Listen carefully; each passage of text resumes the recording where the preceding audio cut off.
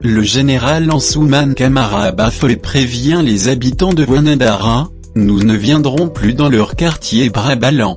Le général Ansouman Kamara Baffolé, ne décolère toujours pas plusieurs jours après la mort d'un agent des services de police, tué récemment à Wanadara, alors qu'il était en mission dans ce quartier de la banlieue de Conakry.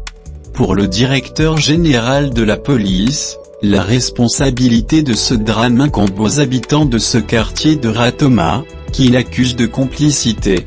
Le bandit qui est venu tuer le policier, laisser la moto et rentrer dans le quartier, qu'est-ce qu'ils ont fait de ce bandit avec le PMA Kaodo Les bandits qui courent, rentrent dans leur cour pendant que ce ne sont pas leurs fils, ils les protègent certainement parce que c'est des militants de ceux-ci ou qu'ils ont répondu à un mot d'ordre. Il ne faut pas pardonner ça.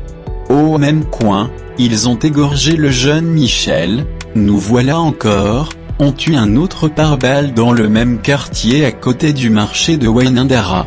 Les gens du quartier disent qu'on est en train de les persécuter, ils n'ont qu'u à nous aider à débusquer ces gens-là, a-t-il affirmé dans un entretien. Le général Baffolé va plus loin en adressant une mise en garde aux populations de ce quartier. Wanadara, ils n'ont qu'u à faire beaucoup attention, il y a des prémices, parce que ceux qui habitent là-bas et qui encouragent ces choses-là, ils ont le comportement des extrémistes. Moi je suis musulman de père et de mère, la religion musulmane prône la paix et le pardon, mais eux ils n'ont même pas de sentiment de pitié.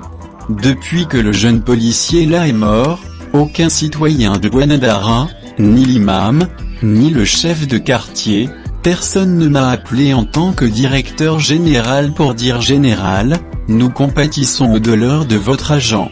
Or, nous étions là pour assurer leur sécurité. Donc, sans citer quelqu'un directement, ils sont aux complices, ils nous ont tués mais nous on n'a tué personne et on va empêcher désormais ce qui est en train de se passer là-bas et là nous ne viendrons plus dans leur quartier Brabalan si c'est la nuit on va se préparer aussi, a-t-il lancé.